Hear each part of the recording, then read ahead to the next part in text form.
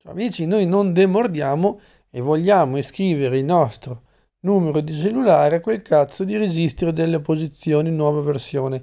Siccome col sito web abbiamo visto che c'è quel problema che mi dice che il mio numero di cellulare non è presente nei registri pubblici, ma è ovvio perché è un numero di cellulare, quindi non può essere negli elenchi, a meno che non sia cambiato qualcosa negli ultimi anni, ma allora ditemelo voi nei commenti. A me non risulta che i numeri di cellulare siano in alcun tipo di, di, di registro pubblico. Allora possiamo però tentare di fare la stessa cosa chiamando il numero 800 265 265. Puntiamo una birra da mezzo che non funzionerà.